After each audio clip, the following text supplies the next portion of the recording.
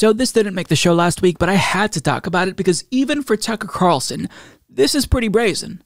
This is very, very brazen.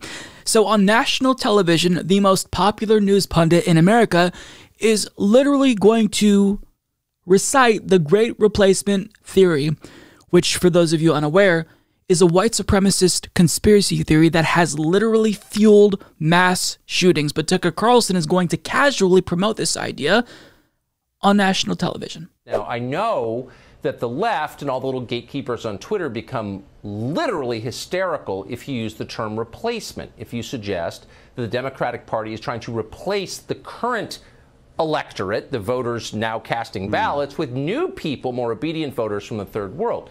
But they become hysterical because that's that's what's happening actually. Let's just say it, that's hmm. true. Hmm. If, if look, if this was happening in your house, if you were in sixth grade, for example, and without telling you, your kid, your parents adopted a bunch of new siblings and gave them brand new bikes and let them stay up later and help them with their homework and gave them twice the allowance that they gave you, you would say to your siblings, you know, I think we're being replaced by, by kids that our parents love more. And it would be kind of hard to argue against you because look at the evidence. So this matters on a bunch of different levels, but on the most basic level, it's a voting rights question. In a democracy, one person equals one vote. If you change the population, you dilute the political power of the people who live there. So every time they import a new voter, I become disenfranchised as a hmm. current voter. So I don't hmm. understand why we don't understand this. I mean, everyone wants to make a racial issue out of it. Ooh, the you know white replacement theory. No, no, no. This is a voting rights question. I have less political power because they're importing a brand new electorate. Why should I sit back and take that? The power that I have as an American, guaranteed at birth, is one man, one vote, and they're diluting it. No, they're not allowed to do that. Why are we putting up with this?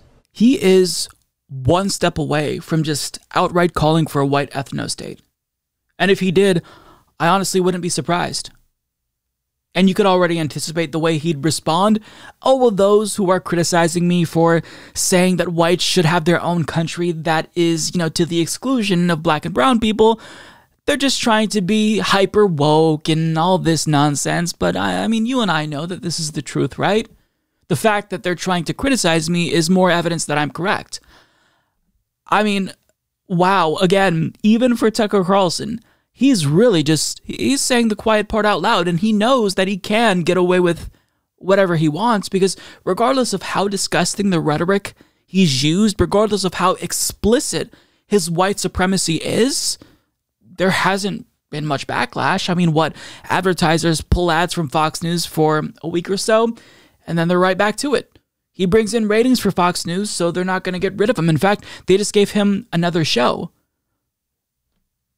He says uh, the Democratic Party is trying to replace the current electorate, the white electorate, by the way, with new, more obedient voters from the third world, as if acquiring citizenship and the ability to vote is that easy. I mean, if you're an actual American citizen, it's already fairly difficult to vote in America. In Georgia, they just created a voter suppression law that makes it more difficult for black Georgians to vote. And yet he thinks that it's so easy to just import voters from the third world. And he says if you change the population, you dilute the political power of the people who live here. So every time they import a new voter, I become disenfranchised as a current voter. So let me just put things into perspective. We have a government that is bought and paid for by corporate America. And there's been study after study that shows that Americans have zero impact on policy outcomes. But what Tucker Carlson is worried about is that more black and brown people are going to be voting. That's the threat. It's that brown votes are diluting white votes. It's not corporations. But yet, this is about voting rights. He cares about democracy. Well, if you actually cared about democracy and voting rights, I wouldn't necessarily be focusing on this issue. I'd be focusing on getting money out of politics, decommodifying elections. But we know what this is about. This isn't about voting rights, this is about white supremacy. An individual who claimed that immigrants are making America dirtier, I don't think you have to dive that deep to try to find out what his underlying agenda is. And notice how he asks, Why are we putting up with this? And this almost sounds like an implicit call to action to white supremacists, But here's the thing the great replacement theory inherently is a call to action. This is part of the reason why white supremacists have carried out mass shootings. As Media Matters explains, the Great Replacement Theory has inspired a bloody trail of horrific events across the world. The racist mass shooters in both Christchurch, New Zealand, and El Paso, Texas, wrote of their belief in the theory. The neo Nazis who marched in Charlottesville, Virginia, did so to chants of Jews will not replace us and you will not replace us.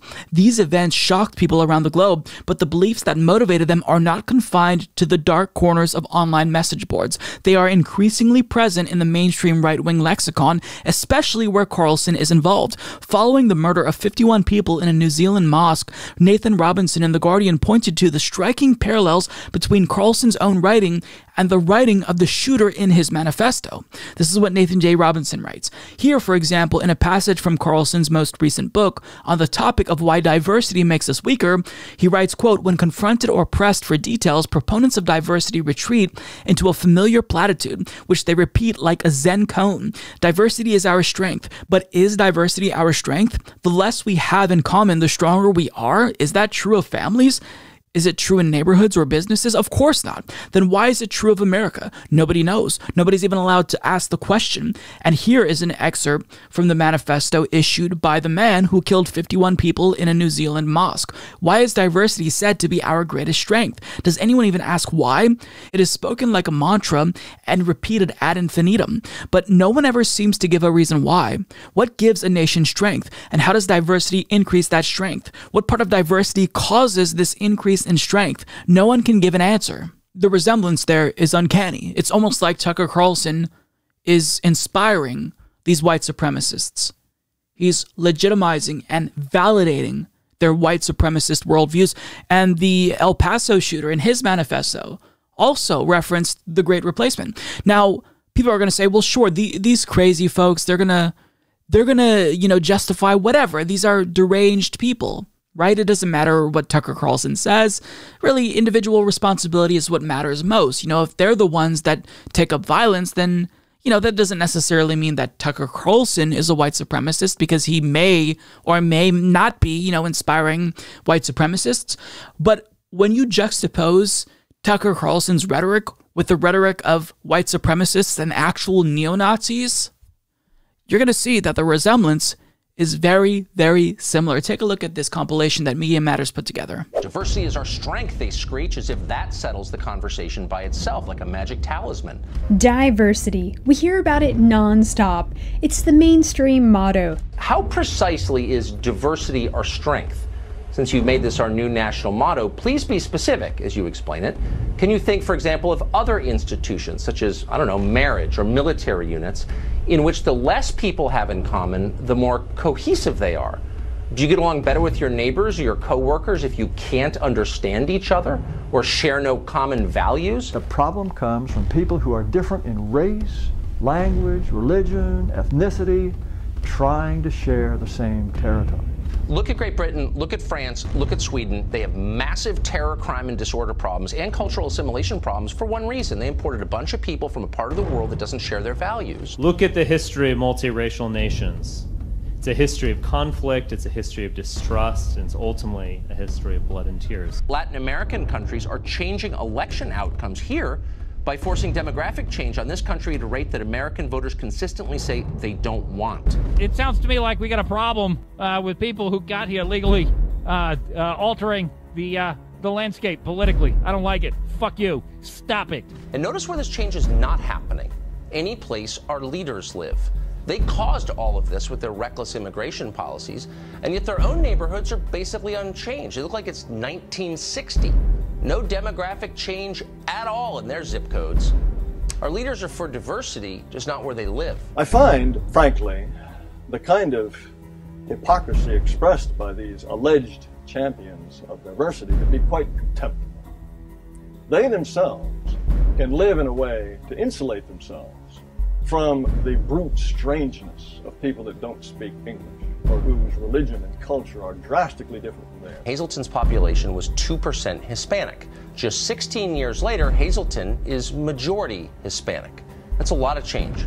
People who grew up in Hazleton return to find out they can't communicate with the people who now live there. And that's bewildering for people. That's happening all over the country. There is a campaign to make European Americans a minority in this country. Their goal is to change your country forever, and they're succeeding, by the way. We are being systematically and deliberately replaced. You're a beneficiary of white privilege. Would that be hate speech? I'm attacking you because of your membership in a group. It could incite violence. White privilege being taught at universities, which is meant to build up a stigma build up hatred and potentially pave the way for violence against white people. As Vice.com succinctly put it a couple of years ago, quote, it is literally impossible to be racist to a white person. Pretty much the entire left now takes that as a matter of faith. They deeply believe that. But what does that mean exactly? But the real racism today is not by white people. It's against white people. Terrorism may be bad, but raising doubts about multiculturalism is worse.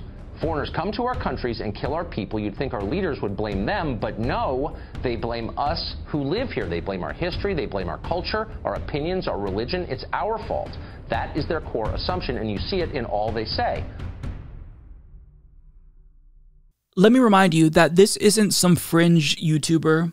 This isn't some, you know, Twitter account. This isn't some poster on the Daily Stormer message boards. This is a national news icon who has the most popular news show in America. And what he says sounds indistinguishable from neo Nazis. And when he addressed the backlash that he knew he'd trigger on his program uh, on Monday, guess what he did? Knowing that there'd be no consequences, he doubled down and proceeded to laugh at the folks who were correctly and justifiably mad at what he said. At least one prediction came true right away. All those little gatekeepers on Twitter did become hysterical. They spent the last four days jumping up and down, furiously trying once again to pull the show off the air. Once again, they will fail, though it is amusing to see them keep at it. They get so enraged, it's a riot. But why all the anger? If someone says something you think is wrong, is your first instinct to hurt them? Probably not. Normal people don't respond that way. If you hear something you think is incorrect, you try to correct it.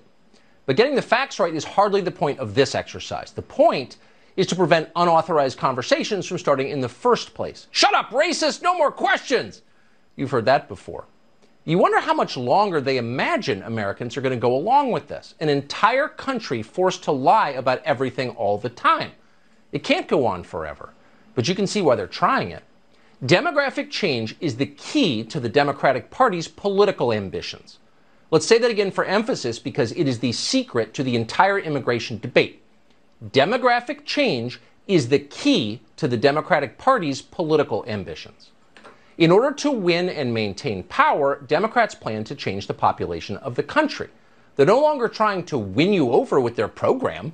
They're obviously not trying to improve your life. They don't even really care about your vote anymore. Their goal is to make you irrelevant. So, this is the most dangerous pundit in all of America.